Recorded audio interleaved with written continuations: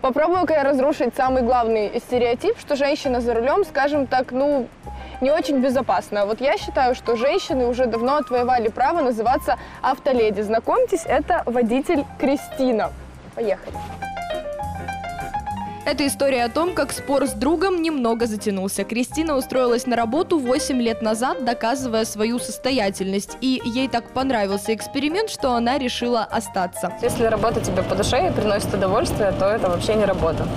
Это хобби, за которое тебя еще сверху платят. Ну, Кристина за кадром нам сказала, что 85% э, пассажиров разговаривают, любят поговорить, что-то обсудить, поделиться тем, как прошел день. Э, Дети как себя ведут в машине? А Редко кто молчит из таких деток, в основном кто-то разговаривает. Там, я вот еду на танцы, я там начинаю рассказывать. Это мило. Дети – любимые пассажиры Кристины. Рассказала, что именно для них машина украшена игрушками, а в бардачке всегда припрятаны сладости. Последний маленький пассажир Кристины ехал к бабушке с книгами в рюкзаке. Всю поездку рассказывал, как любит читать фантастику и почему книги интереснее мультфильмов. Вы же сами мама, да?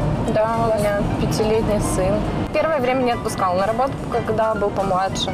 Сейчас он уже понимает, что если мама работает, то это значит, что мы в выходной пойдем в Мегадон, что мы купим новую игрушку, что мы куда-то съездим. Поэтому сейчас он э, радостно меня отправляет на работу. Кристина устраивалась в такси 23 февраля вместе со своей кумой. Восемь лет назад они были первыми девушками-водителями на фирме. Интересно, что мужской коллектив с теплотой отреагировал на новых коллег. Рассказали девушкам о правилах работы и пообещали помощь в случае чего. Если стоять где-то на аварийке, там, на проезжей, на проезжей части или на обочине остановятся, обязательно спросят, как дела, все ли в порядке, там что ли не случилось, чем-то помочь.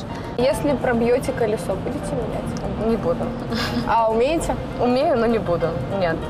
Предоставлю мужчине делать это. То есть либо коллеге, либо другу позвоню кому-то. Почему? Потому что ну, это все-таки не женское дело.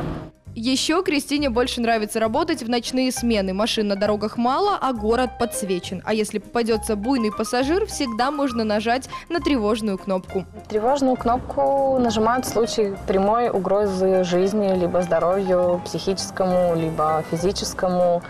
То есть если есть какая-то реальная угроза. Если человек просто, допустим, конфликтует, если человек не хочет рассчитываться, э, для этого не нужно жать тревогу. Вот буквально последняя моя тревога, когда клиенту просто было скучно.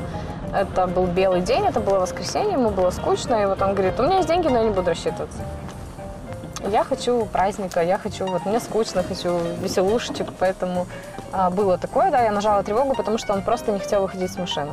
Такие ситуации случаются крайне редко, поэтому свою работу Кристина не перестает любить. Быть водителем такси равно не знать, что такое депрессия, потому что каждый твой день наполнен разными людьми, разными событиями и маршрутами.